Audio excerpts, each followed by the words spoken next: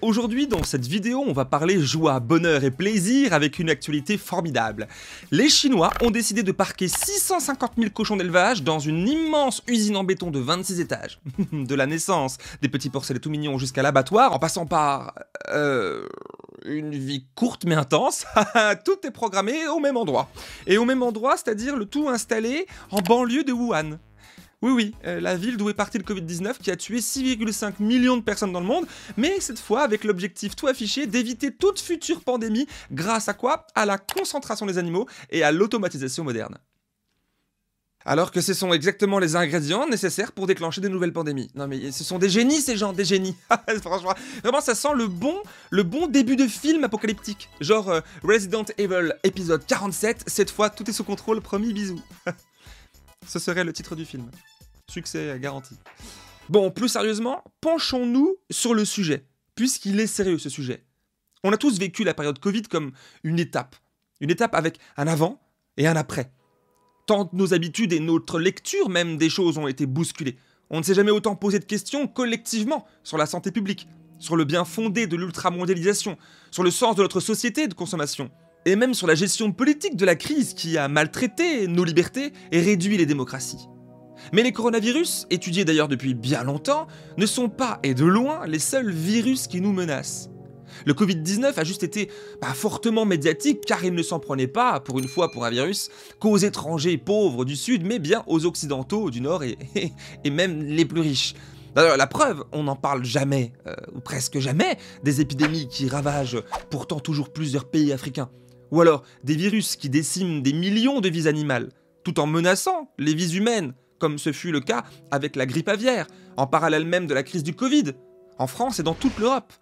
D'ailleurs, entre 2020 et 2021, ce sont plus de 600 foyers de contamination qui ont été détectés dans les élevages européens de volailles. En France, par exemple, c'était la filière de foie gras, mais aussi en Suède, celle des poules pondeuses bio, ou en Pologne, où 5 millions d'oiseaux, 5 millions, juste en Pologne, ont été abattus. L'épidémie d'influenza aviaire hautement pathogène, IAHP pour les intimes, s'est répandue depuis dans le monde entier. En Afghanistan, qui connaît d'ailleurs bien d'autres problèmes d'ordre écologique. En Inde, où elle est devenue incontrôlable. En Corée du Sud aussi, où quasi 27 millions de volailles ont été abattues au point de provoquer une pénurie alimentaire. Venant alors doper les importations depuis l'étranger et donc les élevages industriels ailleurs et les cargos au pétrole sillonnant les mers, bref. En France, les services de l'État ont communiqué, il y a quelques jours, ce 31 octobre, que la situation sanitaire ici, causée par ce même virus, s'est dégradée ces dernières semaines, publiant une carte des risques de diffusion pas du tout rassurante. L'épidémie touche évidemment de nombreux élevages, mais aussi des populations d'oiseaux sauvages, dont nombre d'individus sont régulièrement retrouvés morts sur nos littoraux et même dans les terres. Et pour couronner le tout, ben, des scientifiques s'inquiètent des conséquences du dérèglement climatique qui, poussant les oiseaux migrateurs à changer leur trajectoire, viendrait augmenter les risques de transmission du virus. Tout ça s'inscrivant dans un contexte viral humain encore en crise et hautement à risque. Vous voyez les liens qui peuvent se créer là?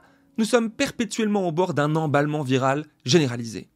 Mais, rassurez-vous, cette épidémie de grippe aviaire-là ne touche pas l'homme. C'était vrai jusqu'en avril dernier, où la Chine rendait publique une première contamination humaine, puis un second cas le mois suivant mais le risque de transmission à grande échelle est faible, rassure le ministère chinois de la Santé. Nous sommes donc rassurés. Restons donc en Chine d'ailleurs, car là-bas, en parallèle de cette épidémie, et du Covid-19, une autre, celle de la peste porcine qui a durement frappé l'empire du milieu depuis 2018, à tel point qu'en l'espace d'une seule année, un million de cochons y avaient été abattus pour rapidement grimper à des dizaines et des dizaines de millions, représentant près de la moitié du cheptel national. Un véritable drame sanitaire, mais aussi économique, qui a gagné l'Europe il y a quelques mois, notamment chez nos voisins allemands. Mais la Chine reste le pays le plus concerné, la Chine étant le premier consommateur de viande de porc au monde. Un Chinois en engloutit en moyenne 52 kilos par an. Et des Chinois, il y en a 1,4 milliard. Alors, pour à la fois continuer à produire toujours plus de viande de porc, ce qui expose à la prolifération de toujours plus de virus, l'État chinois a trouvé une solution miracle, construire des hôtels pour cochons. Oui, c'est plus vendeur que de parler de manoir de la mort. et puis ça rassure, ça déculpabilise aussi les consommateurs qui peuvent comme ça, tranquillement et naïvement, euh, enfin naïvement, consommer et dévorer du jambon, des lardons et du bacon. Mais qu'est-ce que ça dit tout ça du moment politique que nous traversons, de notre société tout entière. Et puis, est-il possible de faire autrement? Alors pour en parler, qui de mieux que Brigitte Gauthier? Elle est cofondatrice de l'association de protection animale en France L214, Éthique et Animaux. Eh bien, bonjour Brigitte, merci de répondre régulièrement présente à mes invitations. bonjour Jamil, j'espère que tu vas bien. Bah, très bien, j'espère aussi. Je crois que, que, tu vas bien malgré tout euh, euh, dans tes combats, etc. Alors, euh, ce, que, ce qui m'intéresse aujourd'hui de savoir, c'est de quel œil toi tu vois, ou peut-être même L214 voit, l'ouverture de ce qui est présenté comme un hôtel pour cochons, un, un, le plus grand hôtel pour cochons au monde en Chine? Ce que j'aime bien, c'est toujours les euphémismes. On appelle ça un hôtel. Nous, les hôtels, on y va très généralement pour nos vacances. Euh, ici, on parle quand même d'un élevage de, qui, va, qui va pouvoir contenir 650 euh, 000 cochons euh, dans un seul bâtiment. Alors, du point de vue des cochons, j'ai le sentiment que qu'ils soient dans cet établissement, dans un de ces étages, ou qu'ils soient dans un, élevage qui n'a pas d'étage, enfin pour eux, les conditions de vie vont être les mêmes. Hein. On va retrouver les caractéristiques de ces élevages, c'est-à-dire du caillebotis, euh, ces sols ajourés dans lesquels passent les excréments, c'est-à-dire des endroits complètement nus pour les cochons, euh, pas, de distraction, alors que les cochons, ils aiment par exemple fouiller euh, dans la paille ou des choses comme ça. Les truies qui sont enfermées, mises sous les barreaux quand elles sont en maternité avec les petits qui têtent à travers les barreaux. Donc, je pense que du point de vue des cochons, euh, c'est blanc bonnet et bonnet blanc entre être euh, dans un bâtiment à étage ou être euh, dans, un élevage où leurs conditions de, vie sont tout à fait terribles. Comme quand ils ont redécouvert que ah, bah, finalement les vaches, l'herbe, c'était quand même pas mal. En fait, des, choses qu'on sait empiriquement depuis, depuis longtemps. De toute façon, on a complètement abandonné ça pour les animaux qu'on élève pour s'en nourrir. Euh, qu'on élève pour les mettre à mort, qui sont vraiment destinés à ça, ou on va les mettre dans des conditions d'élevage tout à fait hostiles. Euh, et bah, c'est la même chose en Chine et c'est la même chose en France. On peut rappeler qu'en Chine, ils sont à peu près à 70 kilos de viande par habitant euh, et par an. En France, on est au-delà de 80, on est encore autour de 85 kilos. En fait, ce qu'on voit, c'est que c'est un mouvement un peu mondial où, au lieu de freiner sur euh, les produits d'origine animale, on, est, on continue euh, d'accélérer ou de maintenir un niveau de consommation qui est un niveau de surconsommation, puisqu'il crée des dommages pour les êtres humains, hein, les maladies euh, cardiovasculaires, certains types de cancers, la cholestérolémie. donc, bah, voilà, nous, on est vus en tant que consommatrices et consommateurs juste comme des débouchés pour l'industrie de la viande. Et peu importe les conséquences que ça va avoir sur nous, peu importe les conséquences sur les animaux. Alors là, on s'en contrefou. Euh, on pousse au maximum jusqu'aux limites physiologiques des animaux pour essayer d'en faire tenir le plus possible dans le moins d'espace possible. Euh, et tant pis pour les conséquences sur l'environnement, sur la santé publique, euh, sur aussi le social au niveau des éleveurs, sur le partage des ressources. Alors qu'on est justement aujourd'hui, on voit bien les, impacts du changement climatique. On voit même que euh, au niveau de la France, au niveau de l'Europe, ça va s'accélérer bien plus vite que ce, que, à quoi s'attendaient les scientifiques. Euh, et pourtant, on ne met aucune mesure de mise en place de freinage. En 2007, le journal américain de médecine soulignait déjà un peu la contradiction en disant on est, on peut avoir des virus, des bactéries qui sont dangereuses pour les êtres humains, un moyen de freiner ça, c'est d'arrêter les bombes sanitaires que sont les, élevages, notamment les élevages intensifs. Et pourtant, on n'ose pas se poser la question de réduire ou d'arrêter de consommer de la viande. Toute, la question est là.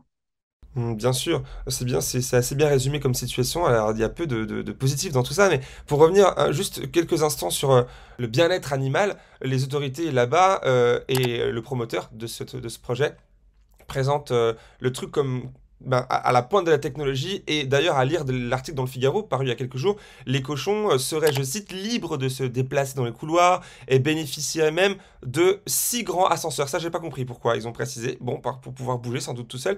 Et puis tout y est automatisé, des soins à l'abattage, etc. On sait que la Chine en fait est euh, régulièrement frappée par des épidémies euh, dévastatrices. La, crise autour de la peste de porcine c'est ce qui les a poussés en fait à, construire ces, ces, ces, grands espaces bétonnés. Et on sait aussi les autorités chinoises obsédées par la politique de tout contrôle, on l'a vu avec le Covid, hein, tu as suivi aussi, elles promettent avec ces bâtiments-là, high-tech, de ne plus qu'il ne sera plus possible de voir émerger les virus que tu, euh, dont tu parles là, les épidémies, les zoonoses. Est-ce qu'on peut avoir confiance en fait dans la volonté des gouvernements chinois ou pas, parce qu'en France j'imagine que c'est un peu la même, la même chose, pour justement combattre comme ça les risques euh, alors non, on peut pas avoir confiance, c'est clair. on peut pas avoir confiance. Enfin, on prend les mêmes ingrédients et puis on espère que ça va donner des résultats différents.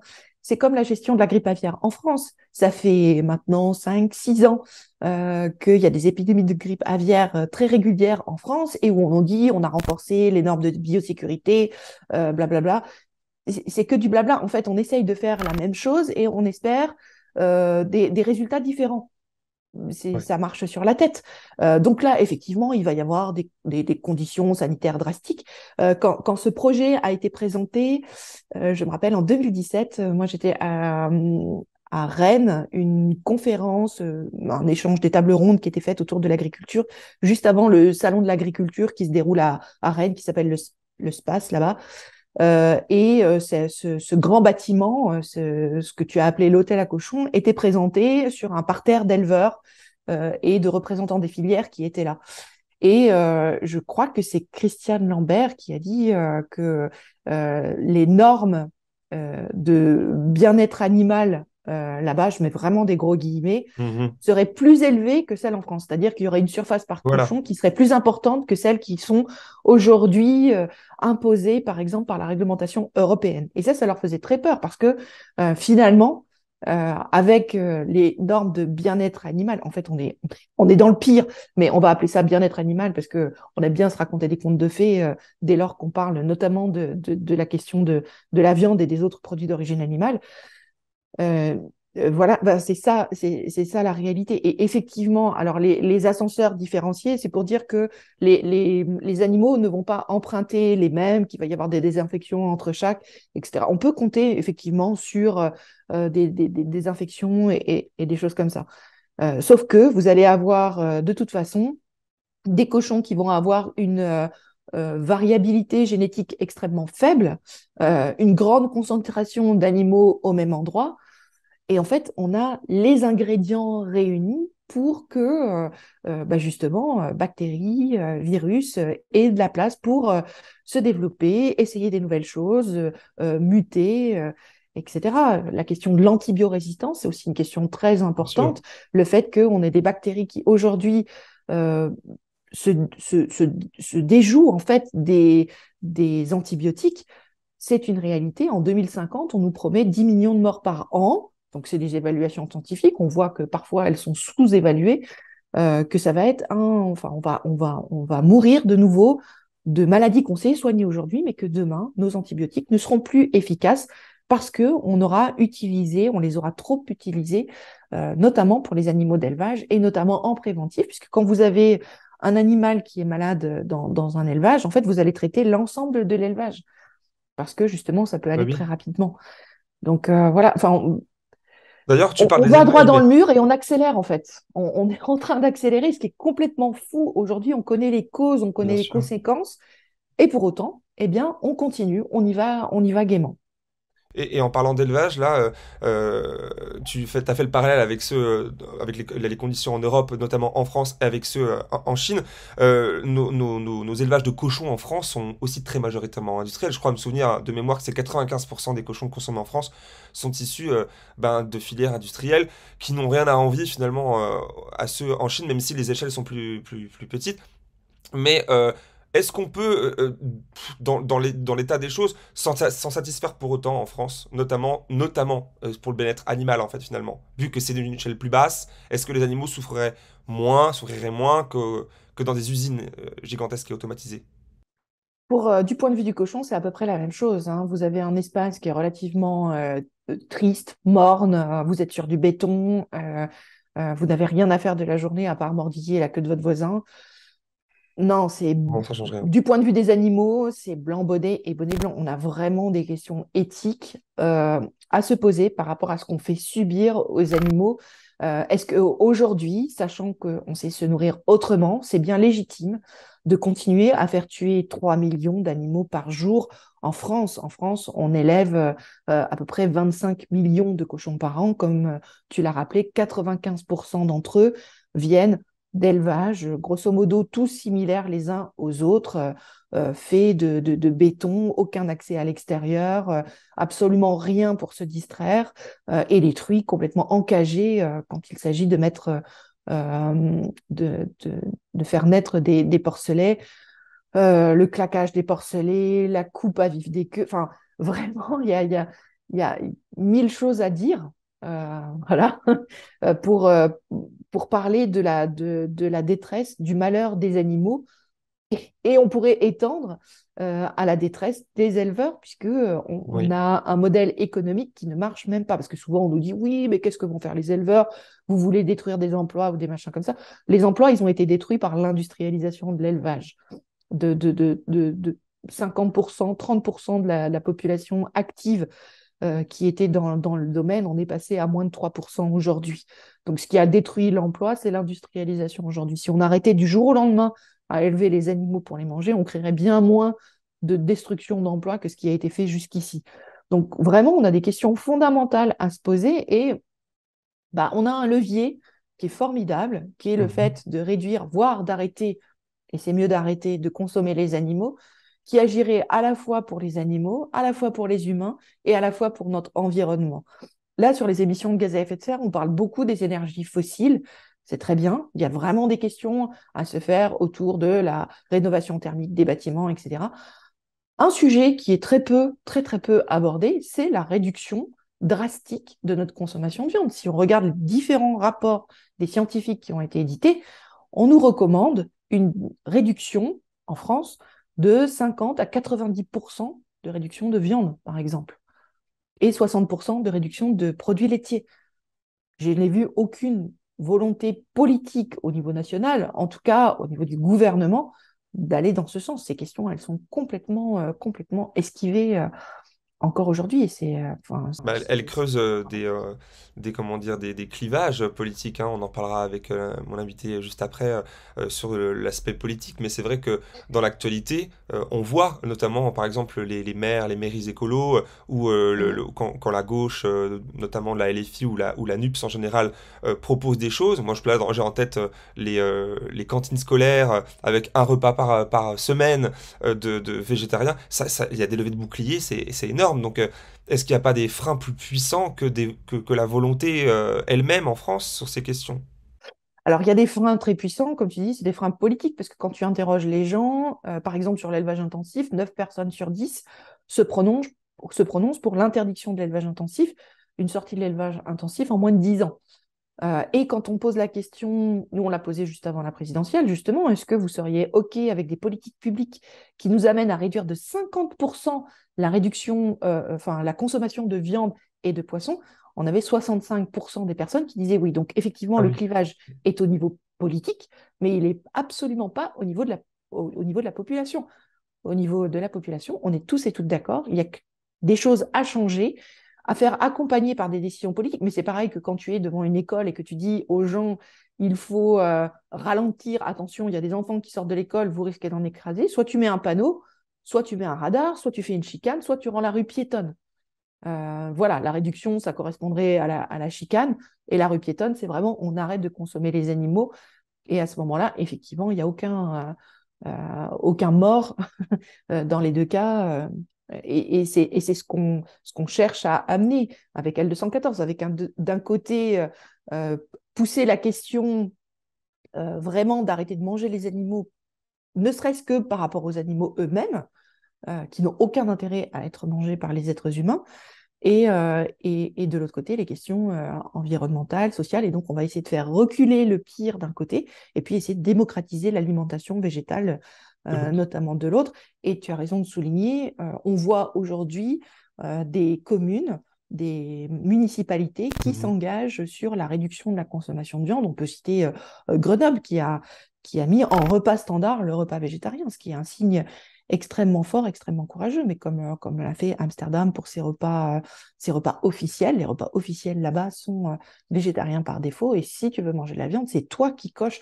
Enfin, cette inversion de la norme, elle est extrêmement intéressante, par exemple, pour nous placer dans d'autres conditions psychologiques aussi par rapport à cette consommation qu'on fait aujourd'hui sans y penser, quelque chose de normal, quelque chose qu'on n'interroge pas, et ne serait-ce que l'interroger, c'est déjà très important. C'est vrai. Eh bien, merci beaucoup Brigitte d'avoir répondu à mes questions aujourd'hui. Merci Jamil, à très bientôt. Alors, s'interroger. S'interroger sur le bien fondé d'une normalité qu'on a du mal à questionner tant elle nous est imposée et matraquée depuis des décennies, alors même que la communauté euh, scientifique internationale alerte sur le sujet, c'est aussi le rôle de nos élus et responsables politiques. Je sais active LFI et ELV sur le sujet, et j'ai souhaité pour cela inviter un ou une de leurs élus pour euh, l'interviewer, comme par exemple Émeric Caron, Bastien Lachaud, euh, Charles Fournier ou encore Sandrine Rousseau, que j'ai contacté euh, sans succès. Peut-être que la coalition des gauches a remisé le sujet animaliste, clivant au demeurant, au placard. En tout cas, c'est ce que pensent les représentants du parti animaliste trouvant pertinente l'idée d'un discours radical qu'on entend peu sur le sujet, et même utile pour donner une direction politique idéale, eh bien j'ai invité une de leurs porte-paroles qui a tout de suite accepté. Bonjour Muriel Fusil, merci d'avoir accepté mon invitation aujourd'hui. Merci. Alors, comment vous, vous voyez l'action politique du gouvernement euh, actuellement sur le terrain du bien-être animal, celui de la chasse, on a vu qu'il y a deux morts et des dizaines de blessés en un mois, ou encore celui de l'élevage? L'action politique du gouvernement, elle, se poursuit dans la lignée de ce qui a été fait pendant tout le quinquennat d'Emmanuel Macron, c'est-à-dire euh, une action politique qui euh, fait d'abord prévaloir les intérêts des multinationales, des lobbies, euh, que ce soit lobby de la chasse ou des lobbies agroalimentaires, sur les intérêts des animaux d'une part, et aussi sur, sur la, volonté nationale, parce qu'en fait, si on regarde tous les sondages d'opinion qui sont faits par des instituts très sérieux, on se rend compte qu'il y a une forte attente euh, des Français pour euh, une amélioration du bien-être animal. Et nous, on va jusqu'à considérer que c'est un déni de démocratie quand on voit, par exemple, qu'il y a 89% des Français qui sont euh, contre l'élevage intensif, 86% contre la chasse à court, plus de 75% contre la corrida, et qu'on voit qu'il n'y a pas de réponse qui est donné euh, de la part des pouvoirs publics, on, nous, on considère qu'il y a un déni de démocratie. Donc, c'est comme ça qu'on analyse euh, l'action politique. Donc, il y a des petites mesures qui sont prises de temps en temps, mais euh, toujours en essayant de préserver les intérêts des lobbies, que ce soit de la chasse, de l'agroalimentaire, des cirques. On a beaucoup de mal à avancer. Alors, il y a quand même un point sur lequel le gouvernement s'apprête à avancer, c'est l'interdiction de la chasse le dimanche. Est-ce que ça va passer ou pas? Enfin, il y a quand même un débat. le, gouvernement s'est montré euh, plutôt favorable à cette mesure-là. Est-ce que vous la saluez? Alors, bah, en fait, j'avais pas les mêmes informations que vous. Euh, c'est vrai que parfois, on a des annonces qui peuvent être euh, positives euh, par certains membres du gouvernement, mais nous, tant qu'il n'y a pas une proposition de loi qui est déposée et inscrite à l'ordre du jour, un projet de loi du gouvernement, tant qu'on n'a pas ça pour nous, il n'y a pas encore d'avancée. Parce qu'on nous a promis beaucoup de choses. Vous savez, Emmanuel Macron nous avait promis plein de choses en 2002, avant sa première élection et on n'a rien vu arriver. Donc on est très prudent sur ces annonces. Et euh, quand on voit le rapport du Sénat, vous savez, il y a le Sénat qui a été saisi euh, de la question de la chasse suite à la mort euh, de Morgan Keane. Ils ont fait un, un, rapport, mais qui est extrêmement décevant parce que, alors que c'était un rapport qui était censé sécuriser la pratique de la chasse, si, si enfin à considérer que cela soit possible. Euh, donc, euh, et en fait, c'est un rapport où on trouve euh, des propositions de pénaliser les personnes qui, qui s'opposent à la chasse. Donc, ça ne va pas du tout dans la bonne direction. Alors, il y a aussi l'opposition à l'Assemblée, et on voit dans les classements notamment de, L214 que ben, les macronistes, la droite, les LR, ou pire encore l'extrême droite, désormais ben, très présente à l'Assemblée, sont des, mauvais élèves, voire de très mauvais élèves sur le dossier animal. Bon, ça, c'est pas très euh, surprenant. Alors euh, que les partis de la NUPES, notamment la LFI ou les Verts, sont au contraire dans ces classements proches du 20 sur 20. Euh, on, se souvient néanmoins pourtant des propos d'Hélène Touy, la coprésidente de votre parti, qui disait pendant la législative que la cause animale, je cite, est la dernière roue du carrosse de la NUPS. Pourquoi, pour commencer Et puis, est-ce que vous le pensez toujours aujourd'hui? Alors, euh, c'est vrai que Hélène avait, avait raison de dire ça parce que, en fait, on, s'était rendu compte que quand il y a eu les négociations entre les partis qui ont euh, fondé la NUPES, euh, Mhm. la question de la, de la condition animale a été euh, traitée comme un sujet vraiment très accessoire et toutes les propositions qui peuvent être intéressantes dans le programme de LFI ou de LV, en fait, elles étaient pas forcément reprises dans la NUPES parce que les personnes qui ont négocié, j'imagine, avaient d'autres priorités et parce que le Parti socialiste et le Parti communiste, à l'inverse de LFI ou de, LV, sont pas du tout progressistes sur la question animale. Donc, comme il a fallu mettre tout le monde d'accord, euh, les animaux euh, en ont un petit peu pâti dans le programme et on n'a pas retrouvé euh, beaucoup de mesures sur la cause animale. Et en plus, il y avait eu des personnes qui sont franchement anti-animaux qui ont été investies aux législatives, ce qui nous faisait dire aussi que la question animale, euh, là encore, il y a des effets d'annonce, il y a des belles paroles qui sont prononcées, mais quand on arrive vraiment à devoir prendre ses responsabilités, euh, la question animale passe à la trappe. On a vu par exemple qu'il y avait euh, Nicolas Cadenne, ouvertement pro-corrida, qui était investi à- dans la région de Nîmes. Il y a, il y a Boris Vallot aussi. Enfin, bon, il, y a des, il y avait vraiment des gens qui sont des ennemis des animaux qui ont été investis. Et voilà, donc euh, on avait voulu Mhm. le dénoncer. Euh, c'est vrai que du- ce- je, me, je crois me souvenir que sous le précédent, la précédente législature, on avait euh, la députée Bénédicte Taurine qui avait proposé plusieurs choses, notamment une proposition de loi visant les, un moratoire sur les élevages classés, euh, vous savez, protection de l'environnement, ou euh, l'autre proposition de loi qui visait d'interdire les fermes-usines. D'ailleurs, cette proposition avait été euh, balayée sans débat par le camp macroniste en avril 2021. Euh, quand même, à l'Assemblée, le... alors si déjà la NUPES, dans sa, finalement, pour pouvoir plaire, comme vous dites, ou tout du moins s'entendre avec les autres partis de gauche moins, moins progressistes sur la question, doit mettre ça sous le tapis, on imagine que à l'Assemblée, où la gauche ne domine pas, hein, ma foi, c'est un combat perdu d'avance, ou déprimant tout du moins. Oui, c'est très compliqué et puis surtout qu'il y a des logiques de groupe. Donc, euh, c'est-à-dire que les, les députés euh, d'un bord ne vont pas forcément appuyer une proposition euh, de loi, même s'ils sont d'accord euh, sur le principe, du seul fait qu'elle n'émane pas de leur groupe et qu'elle émane d'un autre groupe, par exemple sur la proposition de loi anti-corrida.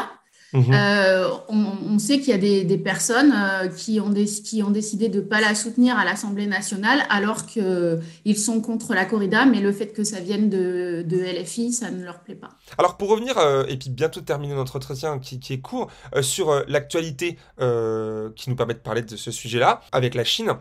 Alors la France est encore quand même bien loin de ce que la Chine fait, par exemple avec ce- cet énorme bâtiment, euh, usine de 650 000 cochons sur 26 étages, c'est effrayant. Euh, pourtant, on a de gros acteurs en France, enfin je vous l'apprends pas à vous, hein, comme Cobb Perle et ses 5 millions de porcs abattus chaque année sur plusieurs sites, pour le coup pas une seule usine mais des côtes d'Armor. Néanmoins, les grandes structures comme celles qu'on voit en Chine aujourd'hui, concentrées, mais en France on a eu le projet de, de la ferme des mille vaches, n'ont pas la cote chez nous. Est-ce qu'on peut se dire du coup à l'abri de ces projets industriels gigantesques en France ou alors au contraire, est-ce qu'il existe un vrai risque que ça vienne, que ça revienne, vu que la consommation, on a, eu euh, euh, différents, euh, différents comment dire, signaux avec la consommation de viande qui baisserait en France, mais dans les faits, elle stagne, voire elle augmente quand même, et même si elle n'augmente pas dans, chez, l'assiette des Français, c'est pour l'exportation vers d'autres pays. Est-ce qu'on on a un risque de, de l'installation de de ces usines en France ou pas du tout? Alors, euh, je pense qu'heureusement, culturellement, on- pour le moment, on a été assez protégés parce qu'en fait, c'est vrai que les Français sont attachés à l'idée de l'élevage paysan et ils sont, euh, comme je vous le disais tout à l'heure, plus de 80% à Ouais. être contre l'élevage intensif. Donc, je pense que c'est quelque chose qui nous protège. Mais aujourd'hui, il faut vraiment euh, prendre des mesures, euh, que ce soit acté dans la loi, comme vous parliez tout à l'heure d'un moratoire, ça fait aussi partie du programme du Parti animaliste, un moratoire pour empêcher la, la création de nouvelles, de nouvelles euh, fermes-usines. Et euh, faut- nous, ce qu'on veut, c'est même sortir de, de l'élevage intensif. Bien. Euh, alors ma dernière question, c'est celle-ci. Vous êtes porte-parole de ce qu'on peut appeler encore un micro-parti. hein. le parti est, euh, est encore petit, il a été créé en 2016, le parti animaliste, euh, qui n'a d'ailleurs pas d'élus importants dans nos institutions, hormis, je crois, 8 ou 9, 9 conseillers municipaux régionaux. Vous me corrigez si euh, je vous dis des bêtises. Votre, parti avait pourtant créé la surprise aux européennes en 2019 en réalisant un score proche de celui du PCF, qui pourtant lui a invité à s'exprimer dans les médias, euh, contrairement au parti animaliste, beaucoup moins. Alors, réside néanmoins ce qui semble être ce qu'on appelle souvent un plafond de verre pour les petits partis de niche comme le vôtre. Euh, quel est l'objectif désormais, en fait, maintenant pour le parti animaliste? Donc euh, là, euh, notre objectif principal, c'était de mettre la question animale en politique, d'en faire un sujet sérieux. Et ça, on y est arrivé, comme vous le disiez, grâce aux européennes. Donc là, on continue de, de, de se structurer, de se consolider. Et puis, euh, ben, notre objectif, c'est d'avoir d'autres élus et de se présenter aux élections européennes qui vont bien en 2024. Eh bien, bien, on suivra ça avec attention. Merci beaucoup euh, d'avoir répondu à mes questions aujourd'hui, Muel Fusil. À la prochaine À la prochaine Se consolider, se structurer, s'organiser pour mener des batailles politiques, c'est plutôt une bonne idée. Alors évidemment, les plus radicales et radicaux d'entre vous trouveront peut-être étroite l'idée de se limiter au cadre des institutions existantes, tandis que d'autres ne jureront que par ça. Personnellement, je pense qu'il est important de garder en tête que les luttes politiques doivent idéalement se compléter dans leur forme. Que malgré les méthodes qui divergent parfois, les objectifs peuvent être en commun. Comme par exemple ici, avec le fait de réduire la souffrance animale et humaine et d'obtenir une justice sociale et environnementale profitable à toutes et à tous. Je vous disais un peu plus tôt que j'avais tenté de joindre des élus de la NUPS sans succès. Alors que je bouclais cette vidéo, une des collaboratrices du député ELV Charles Fournier m'a contacté. Alors c'était trop tard, pour moi pour programmer un, tournage euh, vidéo avec lui, mais j'ai quand même tenu à lui poser quelques questions par mail. Alors, dans ses réponses, sans surprise, il dénonce lui aussi les méga-usines de viande de porc en Chine, ainsi que l'hyper-technologisation des élevages.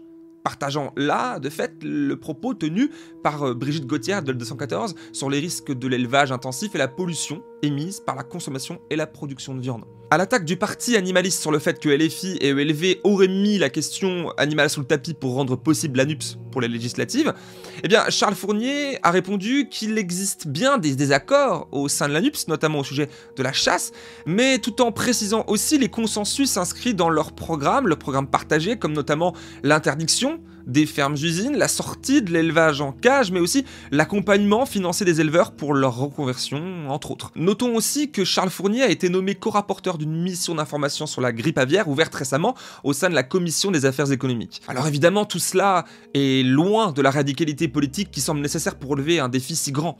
Mais soyons honnêtes aussi de reconnaître que bah, la NUPS n'est pas dans l'exécutif, n'est pas au pouvoir. Alors, pour conclure, si le sujet de l'exploitation animale est un thème qui clive et suscite tant de débats passionnés, c'est sans doute parce qu'il nous renvoie une image de nous-mêmes qui nous plonge dans une sorte de dissonance cognitive assez violente, générant un malaise profond et donc de fortes tensions. Mais fait est de constater que la chose touche tellement à tous les niveaux de notre société, de la morale éthique jusqu'aux conséquences bien matérielles touchant au règlement climatique, qui conditionnent la vie sur Terre, je vous apprends rien, que nous ne pouvons pas continuer à ne pas prendre au sérieux ce débat. Ce débat bien plus élevé que le blabla autour des déjeuners VG dans les cantines de Grenoble qui nourrit des buzz médiatiques improbables chez les boomers figés dans le passé qui sent le gaz par ailleurs. Sauf que, eh ben, sauf que ceux-ci sont bien plus nombreux à l'Assemblée que le sont les progressistes sur la question. Ce qui explique sans doute le décalage entre les actes politiques et les aspirations réelles de la population. On sait ce qu'il nous reste donc à faire.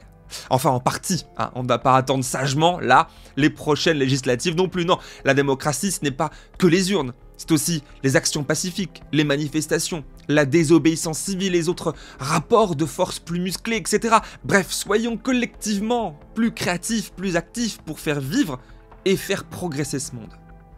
Et merci d'avoir regardé cette vidéo jusqu'au bout. Je suis vraiment super heureux d'avoir pu la réaliser. Franchement, ça fait du bien de revenir comme ça plus régulièrement sur ma chaîne. J'espère que vous avez autant pris de plaisir à la regarder que moi à la faire. Vous pouvez euh, m'écrire euh, et réagir dans l'espace commentaire sous la vidéo. Je lis très régulièrement si ce n'est quasi toujours vos, commentaires et c'est super cool de discuter ensemble après la sortie d'une vidéo et d'échanger des points de vue euh, différents hein, dans le respect toujours bien sûr.